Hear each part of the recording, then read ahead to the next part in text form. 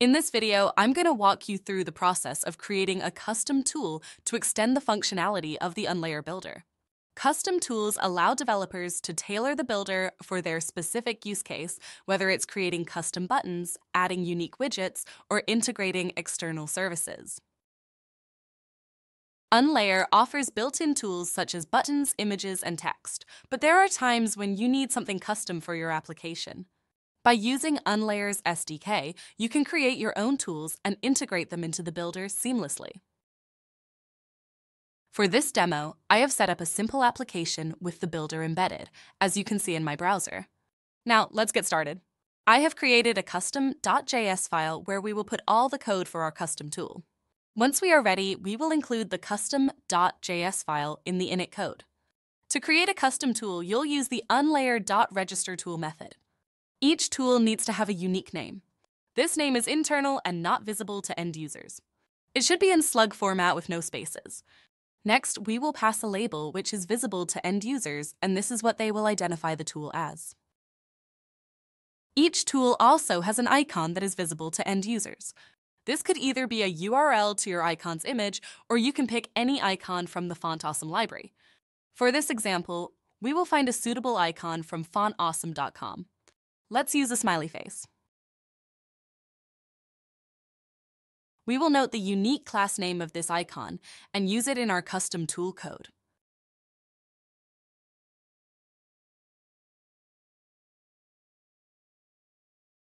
Next, we will define what display modes are supported by this tool. It could be email, web, or pop-up.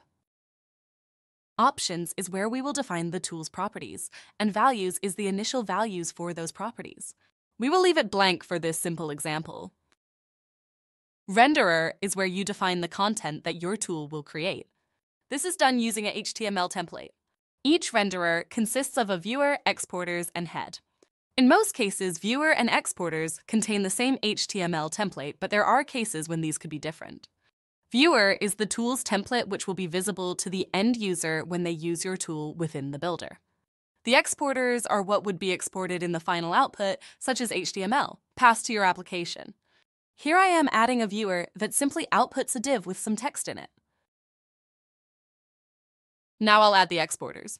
Since our tool is supported in multiple display modes, we will add an exporter for each of those. This is especially useful because the HTML output required for email clients can be very different from web browsers.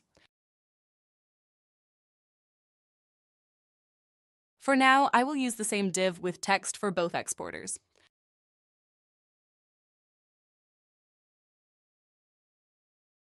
The third and optional part of the renderer is head, where you can define any JavaScript or CSS that is required by this tool in the HTML head. This could be used to load third-party libraries or any other dependency that the tool may have. Now that our simple custom tool code is ready, let's pass it to the builder as custom.js. We will pass the absolute URL of our tool's custom.js file. Relative URLs will not work because the builder runs inside an iframe environment. Let's go to the browser to test our simple custom tool. There it is, our tool with the smiley face icon. When I drop it to my design, you can see the same output we defined in Viewer inside the renderer. Let's change this output a bit and see what happens. We will only change the viewer for now, but not the exporters.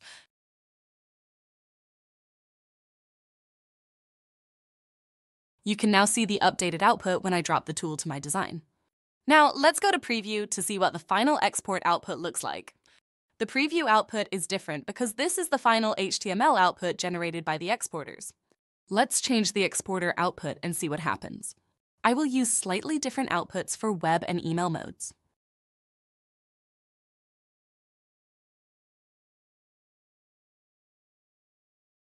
I am currently running the builder in email mode. There it is. You can see the email exporter output in preview. And that's how you create a custom tool to extend the functionality of the Unlayer Builder. We will now explore advanced use cases with properties and property editors. Every tool needs certain properties to create content. Properties are variables that the end user can modify, such as colors, font sizes, text alignment, images, and more. Property Group is a collapsible panel that is used to organize properties into a group. This makes the experience of editing a template simpler and easier. Each property is assigned a property editor, which is a UI control widget used by the end user to modify the property value. For example, color picker, slider, toggle, etc. We have many built-in property editors available, and you can also create a custom property editor. Now, let's add some properties to our custom tool. In this example, we will add two properties to our tool, one to change the text color, and the other to change the background color. Both of these properties will use a color picker widget to let the end user modify colors. I just defined a property group called colors. Now I'll add our first property inside it. This property will let the end user change text color of the content, so we will call it text color. The label is what the end user will see this property defined as. The default value is initial value before the end user can change it. We can use black as the default text color. Widget is the UI control widget used by the user to modify the property value. The builder comes with a set of built-in property editors that you can easily use. For text color, we want to use the built-in color picker widget. You can also create a custom property editor for more advanced use cases. We will explore that later. Let's go to the builder and see our new property in action. There it is. You can now see the text color property inside the colors property group that is collapsible. The color picker widget is also added, which lets the end users easily choose a color. However, you will see that when I picked a color, it had no effect on the output. This is because we did not change the renderer yet. Let's do it now. We will first change the viewer so the text color in the builder changes to the chosen color. We will add a style attribute to the div and use the CSS color property. The values object passed to the render function contains all the property values. So we will get the text color property from values. The name of the value should match the name of the property that we defined earlier. Let's test this in the builder now.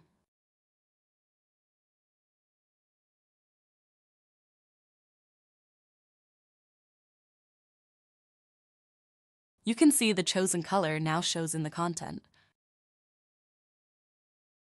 However, the output in the preview still does not have the chosen color. This is because we only updated the viewer and not the exporter. Let's update the exporter the same way we did the viewer.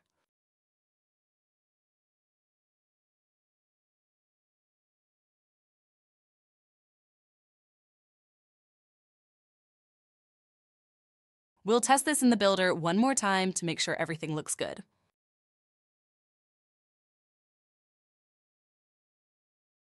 Perfect! Our property is now working as expected. The text color is reflected in the builder and also in the final output. I will quickly add another property to change the background color of the output. We will keep the default value as white, and we will use the same color picker widget for this.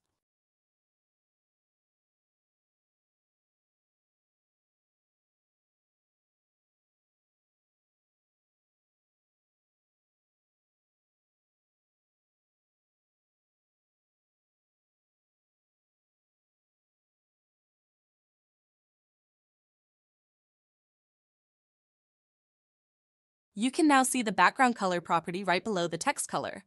Let's test it out. Let's do red text and yellow background.